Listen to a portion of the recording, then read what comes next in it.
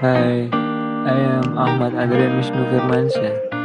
Here I will tell you about my daily life. For the first time in this sixth semester, I have two active, namely going to college and working starting for lecture from the exit of lecture.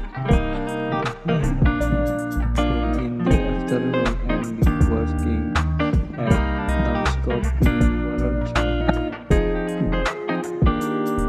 I work as his barista, kitchen, and waitress.